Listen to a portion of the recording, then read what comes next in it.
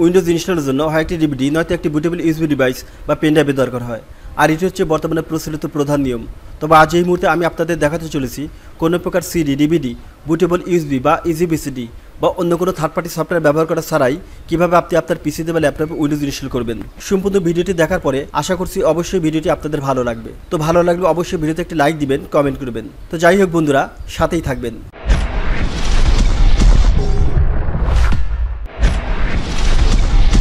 Welcome. একটু আগেই বলেছি, ভিডিওটি অনেক গুরুত্বপূর্ণ। তাই আশা করছি ভিডিওটি শেষ পর্যন্ত দেখবেন। ভিডিওটি সম্পূর্ণ দেখা শেষ করে আপনি জানাবেন যে আসলে আপনি স্মার্ট কিছু শিখতে পেরেছেন কিনা। যাই হোক বন্ধুরা, আর কথা বাড়াবো না। চলুন মূল টিউটোরিয়াল শুরু করি। প্রিয় দর্শক, কোনো প্রকার সিনেমা ডিভিডি ইউএসবি বা পেনড্রাইভ এই জিনিসগুলো ছাড়া আমাদের পিসিতে উইন্ডোজ ইনস্টলের প্রথমে যে জিনিসটা প্রয়োজন হবে, সেটা হচ্ছে উইন্ডোজের একটা আইসো ফাইল উইন্ডোজ টেন অথবা উইন্ডোজ ইলেভেনের আইসো ফাইল আপনি মাইক্রোসফটের অফিসিয়াল ওয়েবসাইট থেকে এই মিডিয়াকেশন টুল এই সফটওয়্যারটি ডাউনলোড করার মাধ্যমে উইন্ডোজ টেন অথবা উইন্ডোজ ইলেভেনের আইসো ফাইলটি আপনি ডাউনলোড করতে পারেন। যদি কোনো কারণে আপনি মাইক্রোসফটের অফিসিয়াল ওয়েবসাইট থেকে এই আইসো ডাউনলোড করতে না পারেন, তাহলে অন্য কোনো ট্রাস্টেড ওয়েবসাইট থেকে আপনি সংগ্রহ করতে পারেন।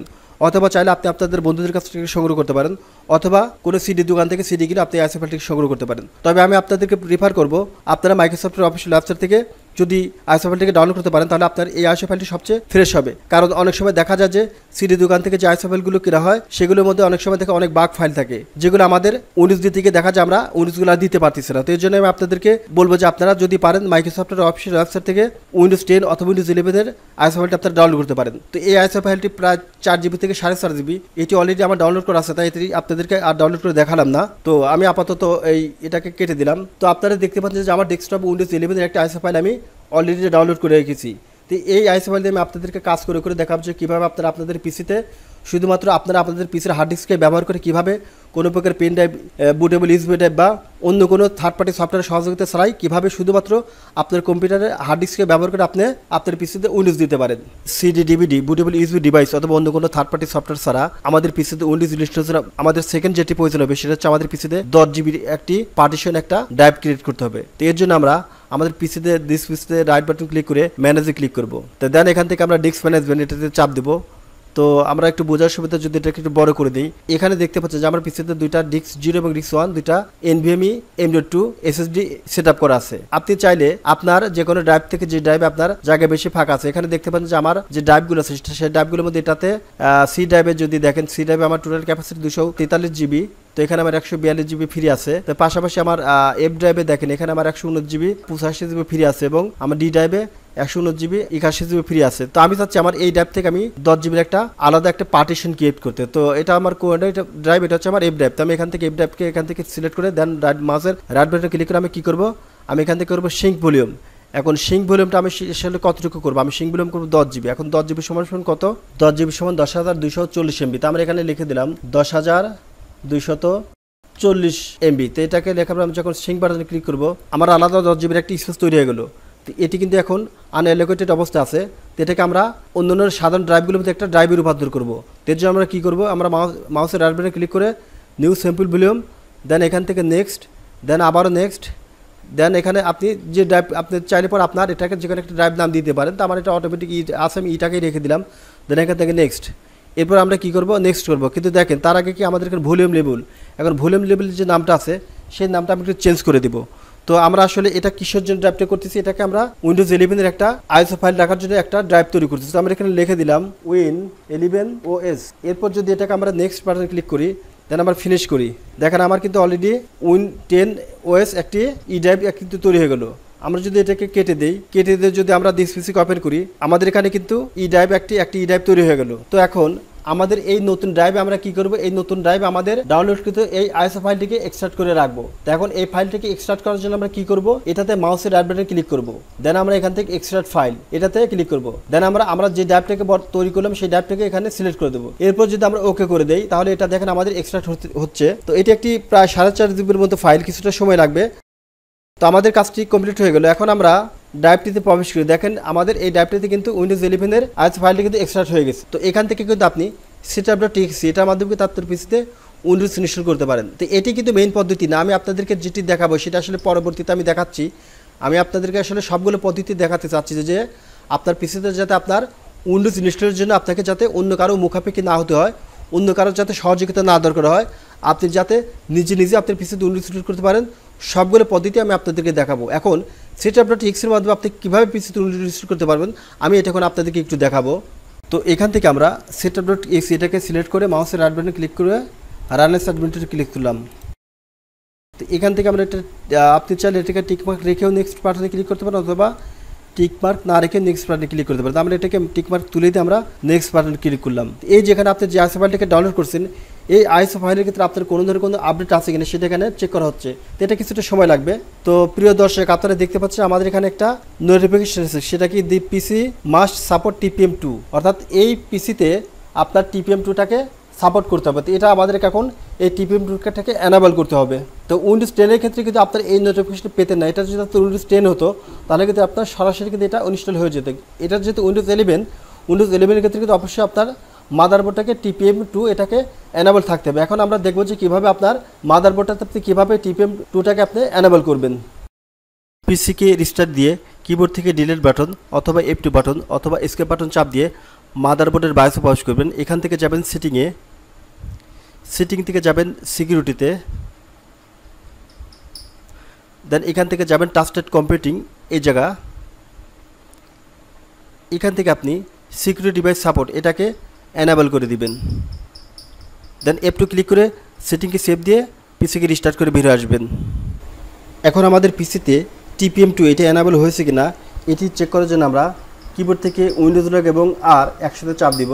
এখান থেকে আমরা টাইপ করব টিপিএম ডট এমএসসি এরপর যদি ইন্টার বাটন চাপ দেই, তাহলে কিন্তু এখানে দেখেন আমাদের টিপিএম টু এটাই কিন্তু অ্যানাবল হয়ে গেছে। এরপরে যদি আমরা পুনরায় যদি আমাদের নতুন সেই ড্রাইভে প্রবেশ করি এবং এখান থেকে যদি সেট আপ ডট টিএসসি এটা থেকে যে যদি মাউসের অ্যাডভার্টে ক্লিক করে রানার্স অ্যাডভান্টেজ সেটা যদি চাপ দেই, তা আমরা কিছু সময় অপেক্ষা করি। এখন কিন্তু আমাদের সে আগের নোটিফিকেশনটা আসলো না। অর্থাৎ এখন কিন্তু আমরা এখান থেকে কিন্তু উনিশটাকে ইনস্টল দিতে পারব। উইন্ডোজ ইলেভেনটাকেও কিন্তু এখান থেকে ইনস্টল দিতে পারব। তো এরপর যদি এটাকে আমরা অ্যাকসেপ্ট করে দেই, এটা কিছু সময় আপডেট হবে। তো আমরা আপডেটটি কমপ্লিট হওয়া পর্যন্ত একটু স্কিপ করি। এখন এখান থেকে যদি আমি ইনস্টল এই জায়গাতে ক্লিক করি, তাহলে কিন্তু আবার উনিশটা ইনস্টল হতে থাকবে। আমি আর বেশি দূর যেতে পারছি না, কারণ আমি যদি আর বেশি দূর যাই তাহলে আমার রেগুলেটরি বন্ধ হচ্ছে এবং আমি আর কোনো কাজ করতে পারব না। তো আমি এখান থেকে এটা কেটে দিচ্ছি। আমি যদি এভাবে আপনাদেরকে উইন্ডোজ ইনস্টল করে দেখাই, তাহলে কিন্তু আমি বাকি কাজগুলো দেখাতে পারব না। কারণ এক্ষেত্রে আমার পিসিটা ডিস্টার্ব নেবে এবং বাকি কাজগুলো আপনাদেরকে দেখাতে গেলে আমার একটি পাওয়ারফুল ক্যামেরা প্রয়োজন হবে। এর জন্য আমি আপনাদেরকে দেখাবো যে আপনি সিএমডি কমান্ডের মাধ্যমে কীভাবে কোনো ধরনের কোনো CD DVD bootable USB device ছাড়াই কীভাবে আপনি আপনার পিসিতে উইন্ডোজ সেট করতে পারেন। সেই বিষয়টি আপনাদেরকে আমি ভার্চুয়াল বক্সের মাধ্যমে উইন্ডোজ ইনস্টল করে দেখাবো। যাই হোক বন্ধুরা ফাইনালি আমরা যেভাবে উইন্ডোজটাকে সেট আপ করব, সেটি হচ্ছে সিএমডি কমান্ড অর্থাৎ আমরা কোনো ধরনের CD DVD bootable USB device ছাড়াই জাস্ট একটি সিএমডি কমান্ডের মাধ্যমে মোটামুটি এটাকে একটি বুটেবল হিসেবে গড়ে তুলব। তো আপাতত এটাকে আমরা ক্লোজ করে দিই। তবে ক্লোজ করার আগে আমরা যে ড্রাইভে আমাদের এই উইন্ডোজটাকে এক্সট্রাক্ট করে রেখেছি সেই ড্রাইভ লেটারটা একটু আমরা মনে রাখি। তো এখানে দেখেন যে আমি যে ড্রাইভটাতে আমার এই উইন্ডোজটাকে উইন্ডোজের আইসোমেটিক স্টার্ট করে সেটা হচ্ছে ই ড্রাইভ আপনার এটা হয়তো অন্য কোনো ড্রাইভে থাকতে পারে, সেটা কে যে যে কোনো একটা ড্রাইভ থাকতে পারে, সেই ড্রাইভ লেটারটা আপনি অবশ্যই মাথায় রাখবেন। কারণ এটাকে এখন আমরা কাজে লাগবো।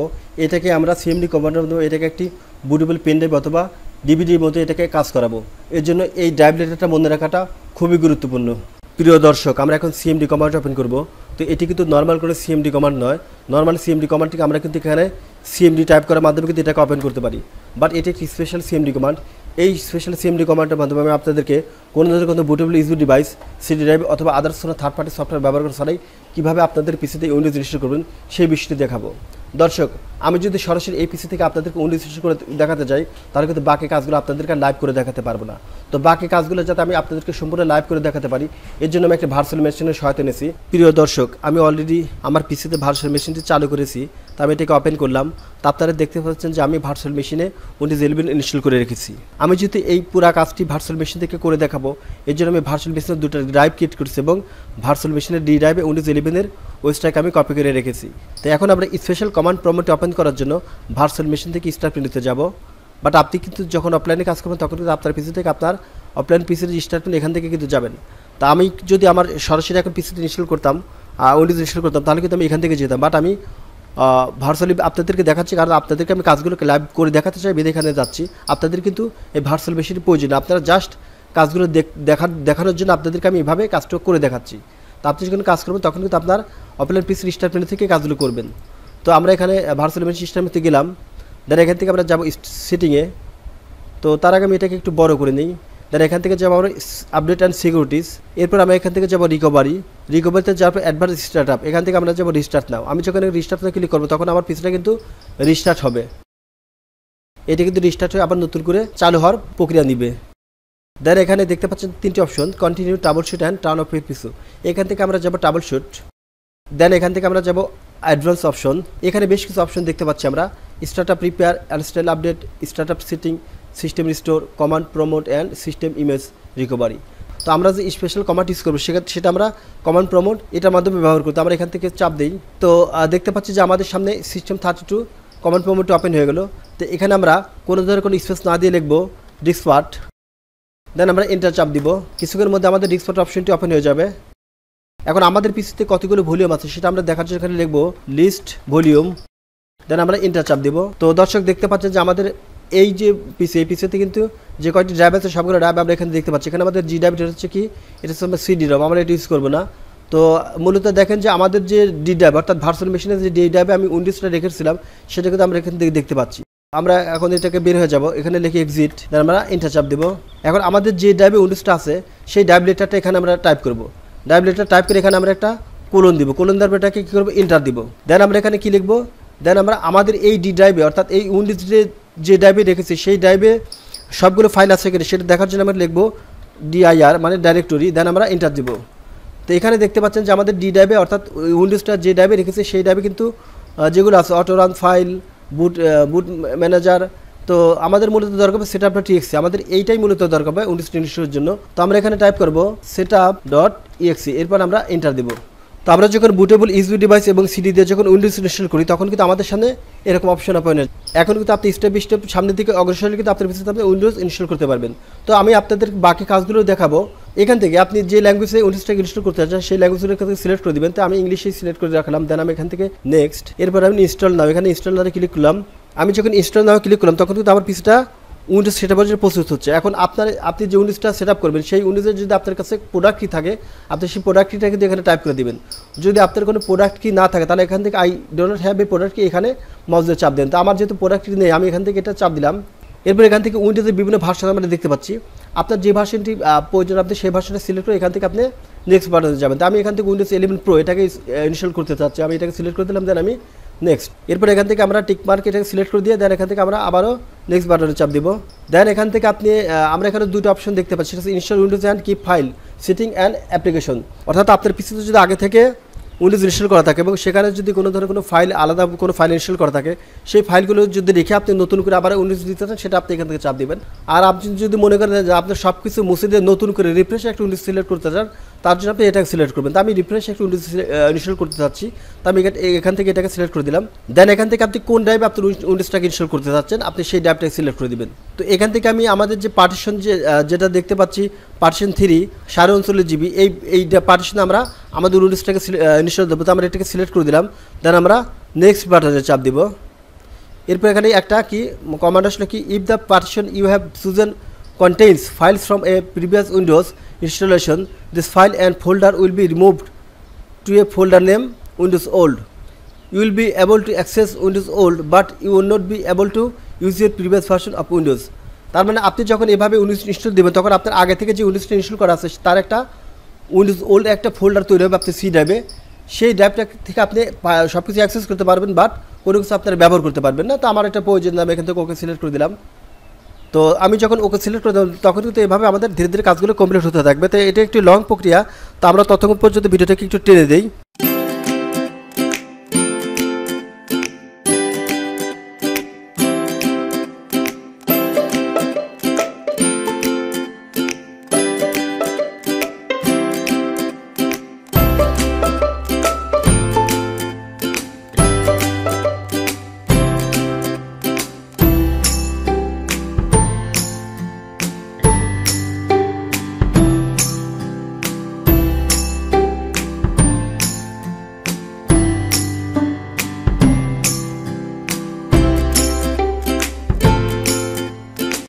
সব কাজ কমপ্লিট হওয়ার পর আপনি পিসিটা আবারও রিস্টার্ট হবে। পিসি যখন রিস্টার্ট হবে, তখন পিসিকে স্বাভাবিক অবস্থায় রিস্টার্ট হতে দিতে হবে।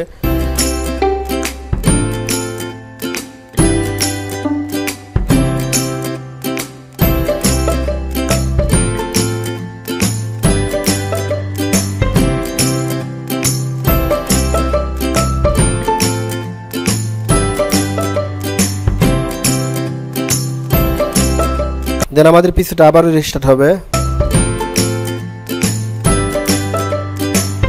এখান থেকে আপনি কোন কান্ট্রি বেস উইন্ডোজটাকে ইনস্টল করতে চান সেই কান্ট্রিটা সিলেক্ট করে দিবেন। আমি এখান থেকে ইউনাইটেড স্টেটটাকে সিলেক্ট করে দিয়ে ইয়েস বাটনে চাপ দিলাম। দেন এখান থেকে আমরা এখান থেকে কিবোর্ড ল্যাঙ্গুয়েজটাকে আমরা ইউএসটাকে ইউএসটাকে সিলেক্ট করে দিয়ে ইয়েস বাটনে চাপ দিলাম। One two add a second keyboard layout আমরা এটা, আমাদের এটার প্রয়োজন নেই, আমরা এটাকে স্কিপ করে গেলাম। দেন এখান থেকে আপনার পিসিটাকে আপনি কী পারপাস ব্যবহার করবেন? সেটা আপনি এখান থেকে সিলেক্ট করে দেবেন। সেটা ফর পার্সোনাল ইউজেস সেটা ফর ওয়ার্ক অর স্কুল তো এটা আমি ব্যক্তিগত ব্যবহার জন্য সেট আপ করতেছি আমি সেটা ফর পার্সোনাল এটাকে সিলেক্ট করে দিয়ে নেক্সট বাটনে চাপ দিলাম। এখানে আমি আমার একটা আউটলুকের একটা ইমেল অ্যাড্রেস টাইপ করে দিই। দেন আমরা নেক্সট বাটনে চাপ দিই। দেন এখানে আমাদের সেই আউটলুক ইমেলের পাসওয়ার্ডটা টাইপ করে দিব। এরপর এখান থেকে আমরা নেক্সট বাটনে চাপ দেবো। দেন এখান থেকে আমাদের পিসির একটি পিন নাম্বার আমরা সেট আপ করে দেবো। অর্থাৎ আপনার পিসিটি চালু হওয়ার সময় যে পিন নাম্বার চাবে, অর্থাৎ পাসওয়ার্ড চাবে, সেই পাসওয়ার্ডটা এখান থেকে আপনি সিলেক্ট করে দিবেন। দেন এখান থেকে আমরা set up for new device এটাকে সিলেক্ট করে নেক্সট বাটনে চাপ দেবো। এখান থেকে এগুলো আপনি চাইলে সবগুলোকে অন অন করে রাখা অবস্থায় নেক্সট বাটনে যেতে পারেন, অথবা সবগুলোকে অফ করে আপনি নেক্সট বাটনে যেতে পারেন। তো আমি এখান থেকে সবগুলোকে অফ করে দিব।